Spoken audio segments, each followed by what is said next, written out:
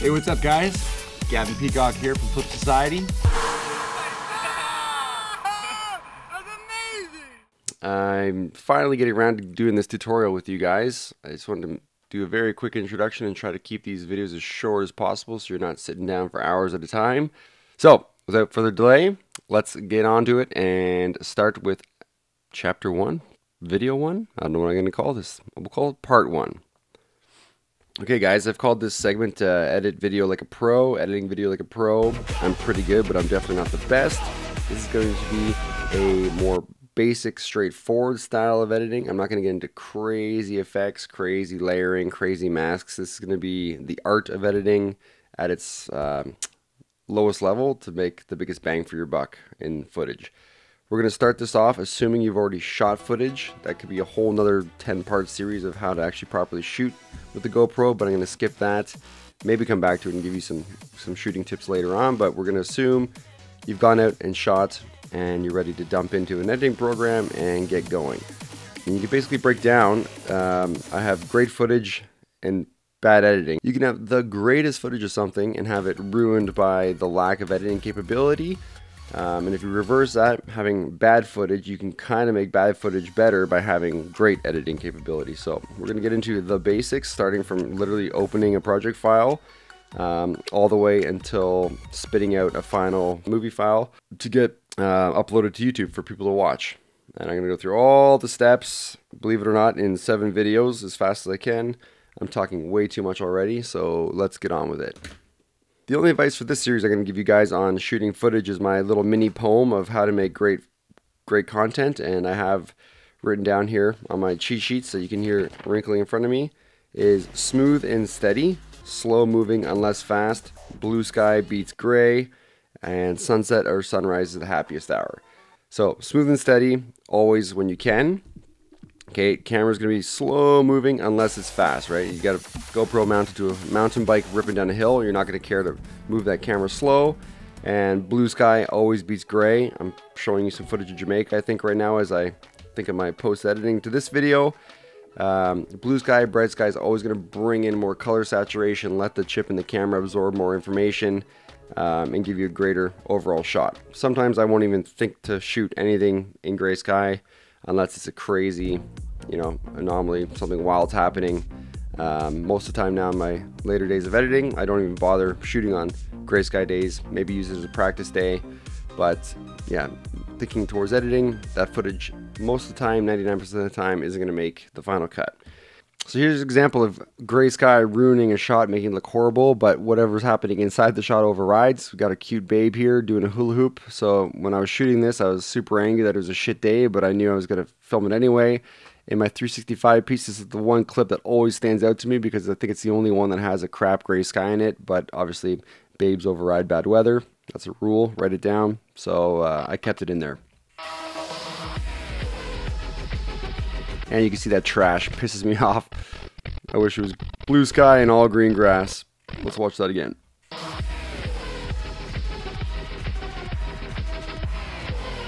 Oh uh, yeah, example.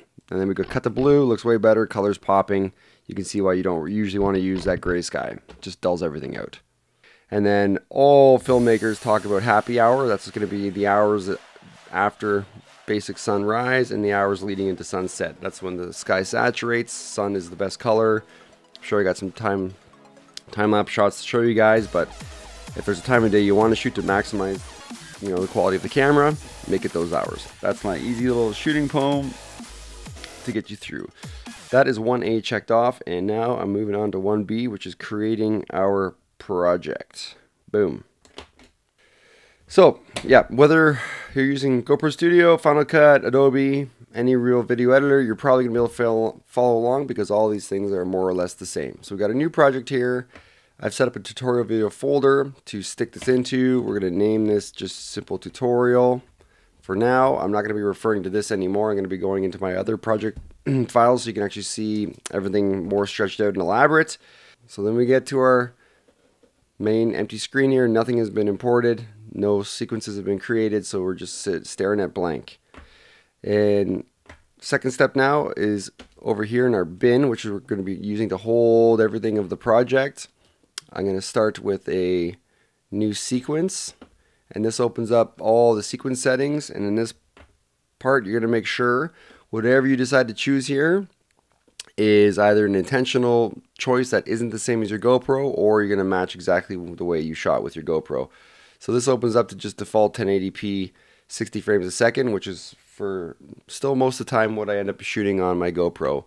And I'm showing you now overlay of my GoPro screen. You can see it's got 1080p and 60. This is going to be super important for you guys to match. You don't want to be doing 720 video into a 1080 timeline because you'll be getting all the stretching or the upresing, um, and that's no good. That'll lead to crappy um, compressed quality uh, when you spit this out to YouTube in the end of all these videos. So we're going to create a 1080p 60 frames per second timeline. So we've got our layout set up here. First two things, I always create the sequence and I create an initial bin, which is going to be to store our footage when we start to import it. It's very important once you get into really big editing projects, multiple cameras, just multi-day shoots, big traveling trip, you're going to have so much footage. You're going to want to stay organized with these bins. You can make a ton of them. Okay, you name them all different things with the slow click. But whatever your style, you can call them ABCs. I call them camera one, camera two, camera threes, day one, day two, yada yada. You can uh, do whatever you want to keep it very organized. Boom. Okay, now you're working with clips inside your bin, inside the main master project bin here. For layout, we have our timeline, multiple layers. You guys will see that. Up here is where our master video ends up uh, previewing. And then here as well, when I click on some clips, is where we're doing our fine tuning and editing. So we'll get into all this. I got reminders here to usually pick a song before you start editing. I would always pick a song before I start editing. Sometimes I'll hear a song and even go out and start shooting with the mindset that I'm going to be editing to that song.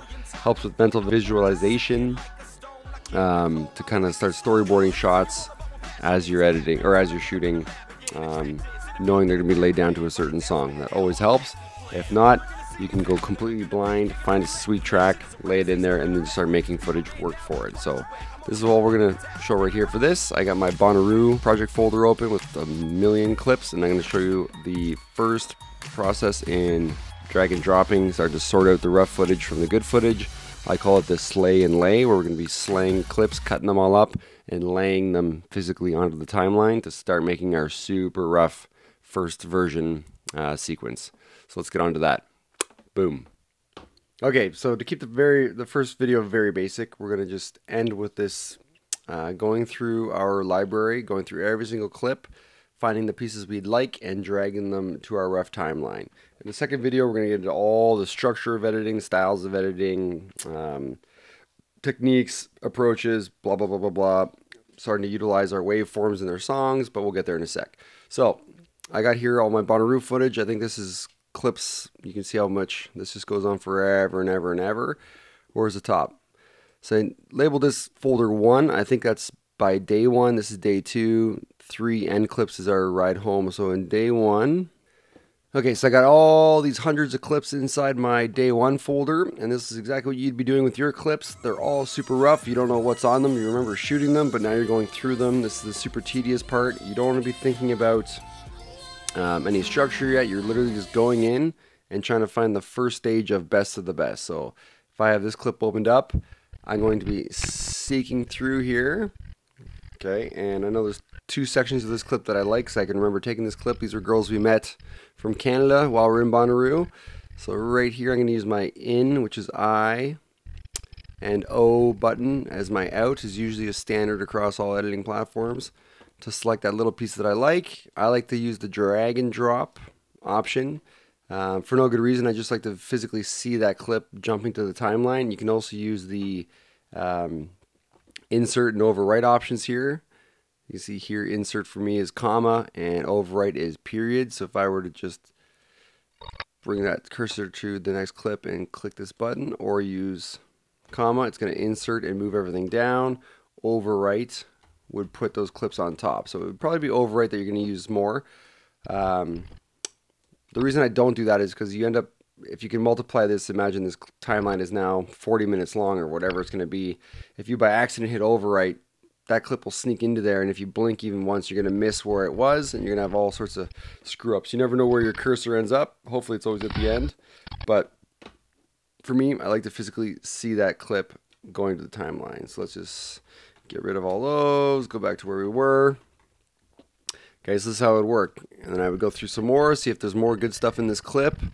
Oh, I'm high-fiving the girls now, so I'm going to mark the in. Boom, boom, boom, and done. I hit O as the out. Spacebar is start, stop. Okay, and then I'm going to physically drag that down to the timeline. I'm not looking for structure. I'm not timing this song yet. I'm just keeping it there. My music I always keep into usual track one for audio. I'll sometimes lock it so I don't end up moving it by accident. But right now, we're not worried about that. We're literally just going through each clip, going to the next one, scanning for good stuff, scanning for good stuff, scanning for good stuff. That could be whatever you decide, whatever you're looking for inside your clip. I think I just, by accident, was recording for no good reason in that clip, so I'll skip it. I can already see that I've ed edited this footage so I know where the good piece is. So if I scroll to the end here, boom, I suddenly decide to keep the camera steady. That's a nice pan, might want to use that. You're going to include everything you might want to use right now. Okay, nothing is ever left out.